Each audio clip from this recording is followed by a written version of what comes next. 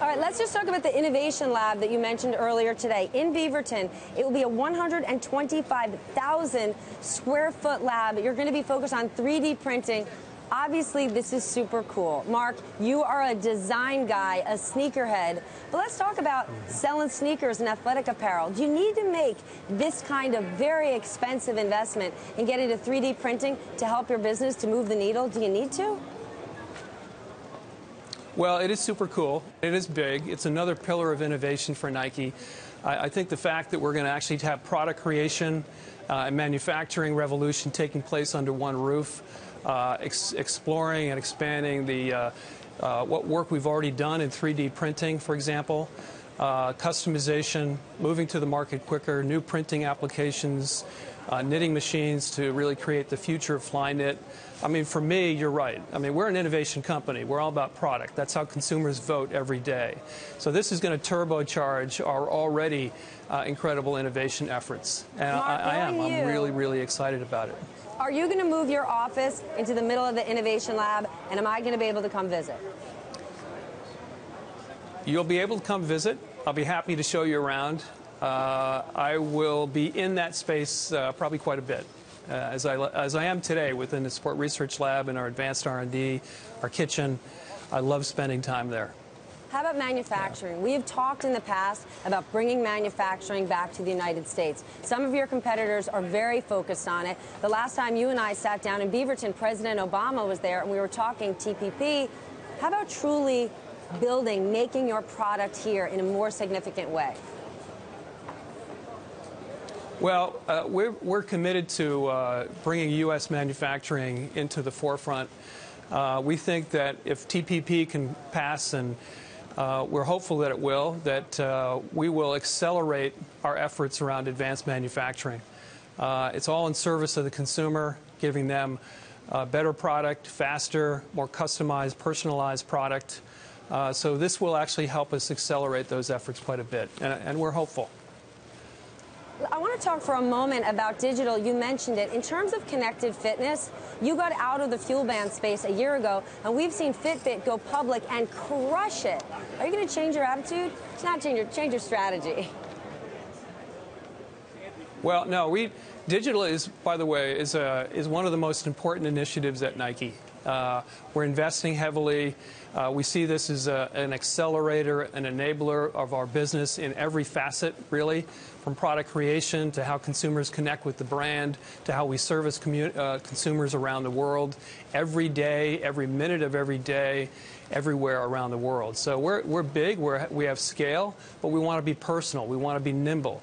And digital is an enabler for that. You'll see it in product, you'll see it in new relationships that enable us to create a broader ecosystem of services, personal services, and products that uh, will be accessed from one mobile uh, point.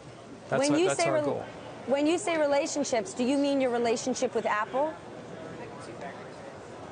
Relationships with Apple, yes. Uh, I'm, I'm, actually excited about what we've done, what we're doing, what's in the works. We don't have anything to announce on that today, uh, but really partnerships in general. If you look at the future potential to innovate, I think it's going to be largely based on our ability to make the right partnerships, to work with teams that are really good at what they're doing and to add them to the teams we have to create things that people couldn't imagine. That's what excites me. Given your relationship with Apple, are you wearing an Apple Watch and do you consider that your wearable? I do. I wear an Apple Watch. Uh, I still wear a FuelBand, uh, and I'll continue to, you know, to do that. Uh, and I'm excited about where the Apple Watch is going. I know that uh, it's a huge priority for the company. We'll see that uh, uh, grow and, and develop more and more. And, and, Nike wants to be, and we will be, a part of that. That's our, that's our our goal. Mark, before yeah. we go, we got to talk women's. You know, whether I work out or not, I am in my athleisure gear all the time. But it is a really competitive market. There are many startup brands that are sold exclusively to women. Where are you in that space right now? What is your game plan? Well, I think just to take a more macro view of that for a second, uh, we see this as not a fitness trend for women that's short term, uh, like a fashion trend. We see this as a lifestyle shift for women around the world. So we think active apparel and sport and performance-based active apparel will be here to stay for, for years to come. Uh, and we're part of not only serving that consumer and that need, you know, that want, that desire, but we're also creating it. Uh, I think uh, we, we're bullish on women's in general. I will say that uh, we expect our women's business to double over the next five years. Uh, we're incredibly bullish on where we are today. We've made great strides, and uh, we think that's going to be one of the more important growth areas for the company uh, over this next period of, you know, three to five years. Then, in terms of women and women's growth, where do you think that is going to come from? You're going to simply be pulling business away from the likes of Adidas or Under Armour, or it's more like an H&M, a Zara, a Bloomingdale's. You know, I think we're going we're going to take some market share out there as again as the lifestyle shift uh, takes place in more countries around the world. But we're also going to create a larger market at the same time. Well, that's our goal is to is to gain share and actually expand the market at the same time.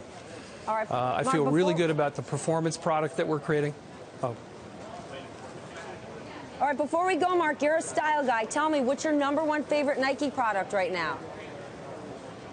Oh gosh, I love them all, but for me, the whole love 'em all, family of Flyknit one. is what gets the one. Oh gosh, uh, I really, you know, I like the Flyknit Mercurial shoe. The uh, um, the soccer boot that we have is uh, incredible.